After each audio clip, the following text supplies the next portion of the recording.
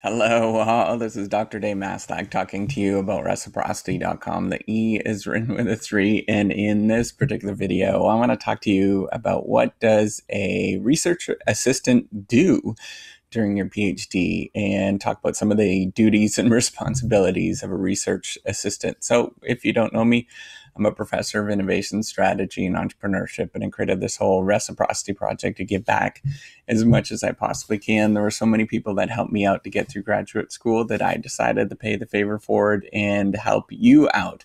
All right, so what is a research assistant, and, and what exactly do you get with a research assistant? It um, you know, there's a bunch of different questions that you can ask and sort of try to figure out with this. And it's not necessarily all that clear.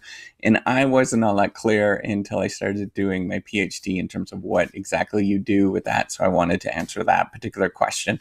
And there's all sorts of different sort of uh, variances and, in different ways to sort of think about this. So, first of all, research assistantship should be just a way that you get stipends for doing your PhD. So, a university has has um, different ways to pay different people. In a research assistantship, it's just one way that you can pay individuals to do research, right? So everything that you do at a university, most universities across the world, I believe, I might be wrong on that, um, you get paid for uh, doing research for the university or you know being part of the university and writing different things or coming up with sort of different ideas um, they have to um, whenever you come up with these ideas or you come up with something that's new or different or you write something they have to compensate for you for that particular task. So it's it's the same thing when you're doing a phd uh, you are actually doing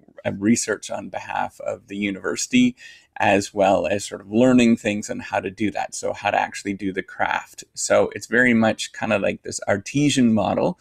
Normally, most PhDs are that way. It's kind of like an artesian model where you're kind of learning how to do, or you're being sort of a craftsman, craftsmanship sort of model where you're learning how to do something from somebody else. And the research assistantship is just a way to get compensated for learning how to do that. And you're doing research on behalf of a principal investigator, right? So it's not your own um, independent research, and in it's, it's not normally that way, um, but generally you know, it it uh, it can sort of vary, and I'm going to get into that. So basically, you're just doing research on behalf of some principal investigator or you know it's some sort of professor someplace right? So it's basically and, and you can call principal investigator can be called a pi um, and, and basically it's just somebody that's taking the lead on that particular research project and you're doing research on behalf of them. So what exactly do you do for research assistant duties? Um, there is a lot of different duties that you could do. So you know a list of duties that you could possibly do is write reviews of papers that are out there. So what that would what that means is you go out and actually um, read other people's work and consolidate them and put it into something that's really usable. Um, it might be in sort of a table or something like that, or maybe it is a 10 page document where you sort of go through the different research that other people have done.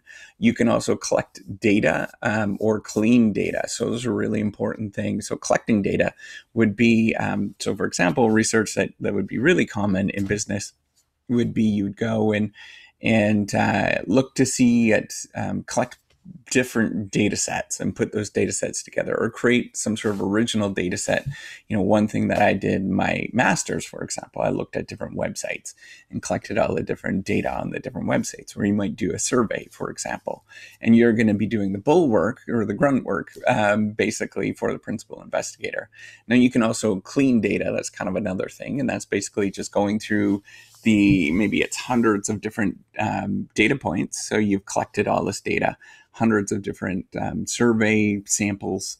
And then what you're going to do is just go through those hundred different, hundreds of different survey samples and make sure that everybody has the same name and, you know, uh, or, you know, kind of have the same sort of standard format and stuff like that. So it's, kind of um, that stuff is pretty tedious, um, but it has to be done.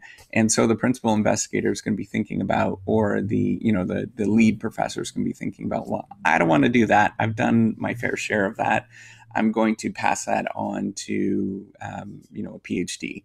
eh, or a PhD student, they're going to go through that and, and do all of that sort of bulwark stuff. And that's that's you're learning the craft when you're doing that as well. We all have to do that. I do that on a regular basis, all this kind of bulwark kind of stuff. Um, but you know, we're going to try to push that off to somebody else as much as we possibly can because it is tedious and, and you know it's but nobody wants to do it essentially but you know somebody's got to do it. And uh, um, you know at the end of the day and, anyways so the the third thing that you're going to do is analyze data. Um, highly unlikely you're going to be analyzing too much data in the first um, semester. It's probably going to be much more along the lines of maybe it's your second or um, you know maybe it's in your second year your second semester or your second year.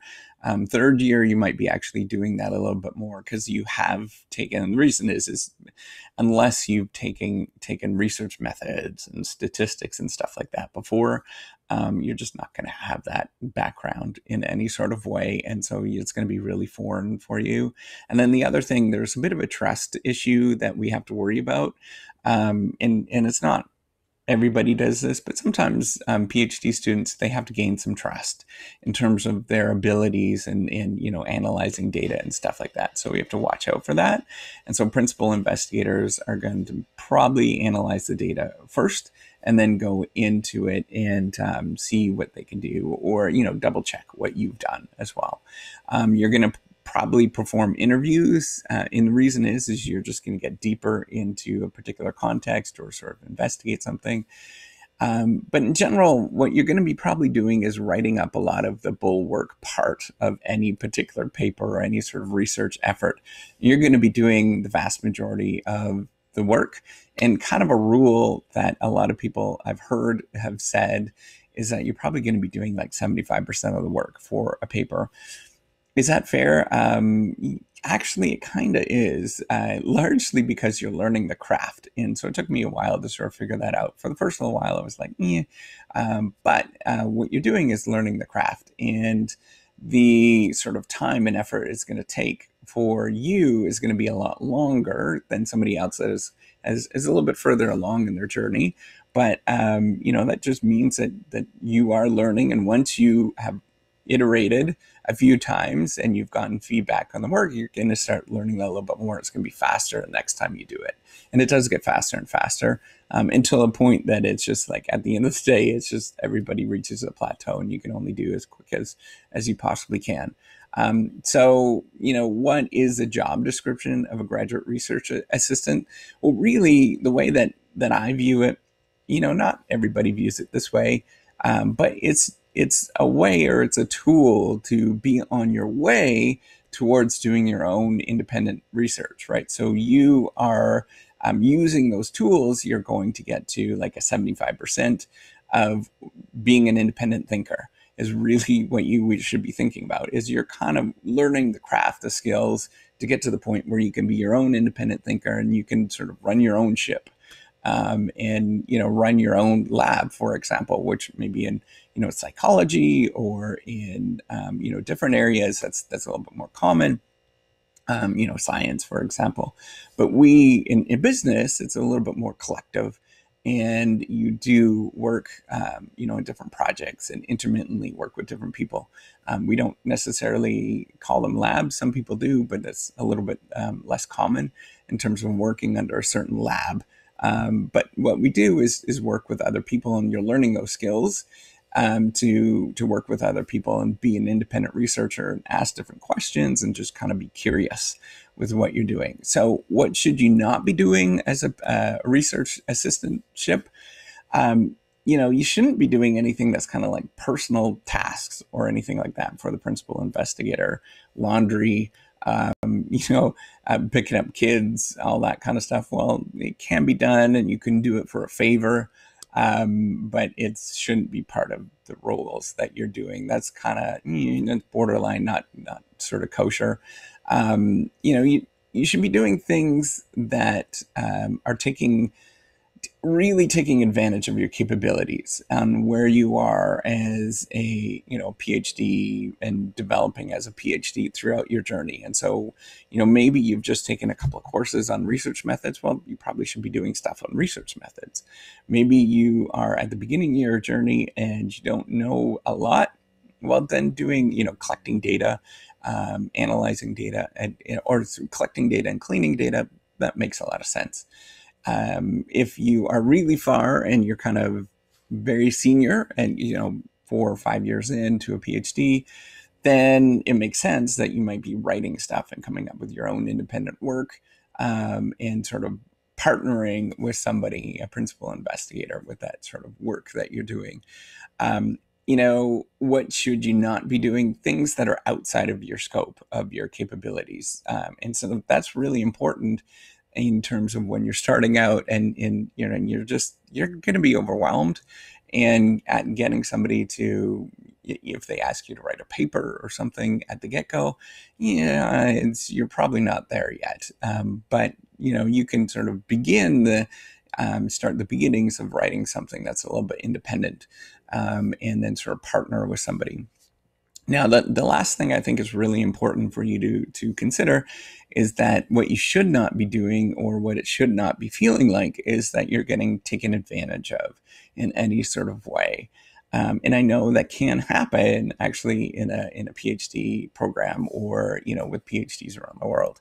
It you do sometimes feel taken advantage of, and whenever that's the case, um, definitely it means that there's some sort of boundary that's being crossed and you should have an open discussion with somebody um, hopefully with the you know your professor or principal investigator first.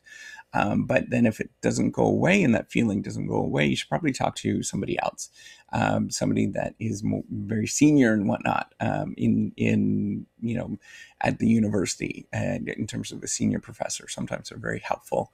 And usually you know who those people are. They're usually nice individuals that you can talk to. Um, so hopefully that answers your question in terms of what does a phd um, research assistant do. Really it is a way to get paid for generating research and ideas for a university or research institute um, and as well as learning the craft of becoming a researcher and becoming a phd that's really a big thing to think about is that it is a learning experience and uh, you do get paid for that.